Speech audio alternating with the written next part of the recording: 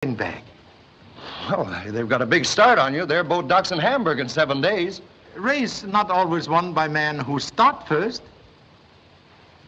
Please.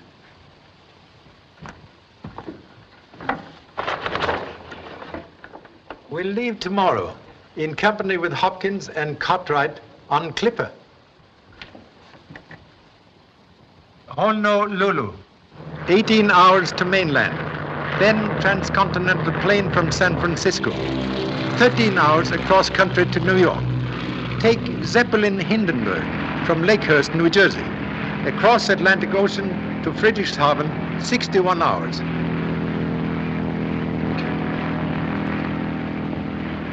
It's fortunate we haven't been delayed. We'll be on the dock in Hamburg when the Manhattan arrives. I still think we should have radioed the steamship to have their baggage searched.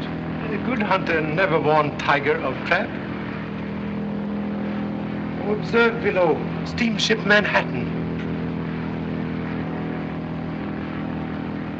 Boy, is that some sauce. That thing really travels fast, too. How many people does it carry? How should I know? Gee, would I like a ride in that?